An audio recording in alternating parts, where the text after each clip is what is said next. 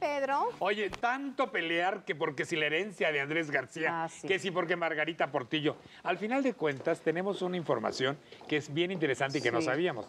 La atención para Andrés en su casa costaba aproximadamente 10 mil pesos diarios. Día, claro. 10 mil pesos diarios simplemente porque tenía casi que una... Tres enfermeros y tres- terapia intensiva terapia en su intensiva casa. adentro de su Sí. casa.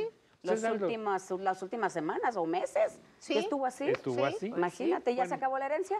Pues Salvador Cerecedo nos platica eso. A casi dos meses de su muerte, Andrés García sigue siendo noticia por la próxima repartición de su herencia, aunque buena parte de esta ya fue erogada en la atención médica que recibió durante los últimos meses de vida. Así lo precisa Salvador Cerecedo, uno de los doctores que estuvo al pendiente de él y quien es además delegado de la ANDA en Acapulco.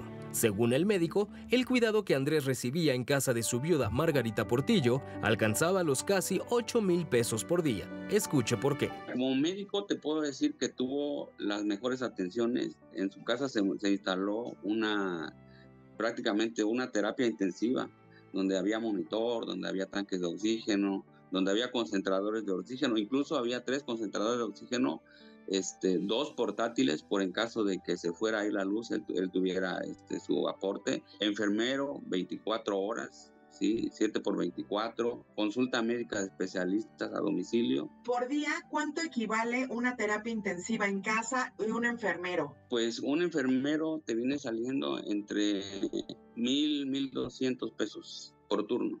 O sea, estamos hablando de tres turnos. Y la terapia intensiva, Pues, Estamos hablando prácticamente un tanque de oxígeno, nada más la renta diaria te anda entre mm, 800 a 1500, los compresores 30 mil, 40 mil pesos, los portátiles es, es lo que andan, la cama de hospital con cama de agua, pues sí es, es una inversión bastante fuerte, 4 mil a 5 mil pesos diarios, tener todo ese equipo. Más los 3.600 de los enfermeros, casi 10 mil Ah, pesos sí. por día. Sí, más o menos. sí. Por cierto que aunque su testamento no se abre aún, el legado de Andrés ya empezó a repartirse en cierto modo, pues su silla de ruedas fue donada al presentador Abel Godoy. Abel Godoy es, fue el maestro de ceremonias en la época de, de, de oro. Señora Margarita, muchas gracias. Muchas gracias por las sillas de ruedas. Ahora voy a poder premiar. Ya voy a poder ir a las tortillas. Gracias a usted. Que Dios la bendiga. Muchas gracias por esta silla de ruedas. Y quisimos saber qué pasó con la bombita que el actor se colocó hace muchos años para mejorar su actividad sexual. ¿De qué pasó con la bombita de don Andrés? Ahí se quedó. Ahí se quedó. Para Ventaneando con información de Alejandra Sánchez. Bueno, ahí está el misterio de la bombita. Finalmente incineraron la, la Hicieron bombita. patrocinio. Imagínate si así estamos con el tema de la herencia, justo al rato. Pero la, la bombita bomba, de la bomba era de plástico, o sea que no hubo Seguramente. problema para incinerarla. No, Lo que no se puede mejor. incinerar son las prótesis de fierro, por ejemplo. Claro. Ajá. Quedan ahí entre los polvos, Ajá. queda la prótesis de fierro.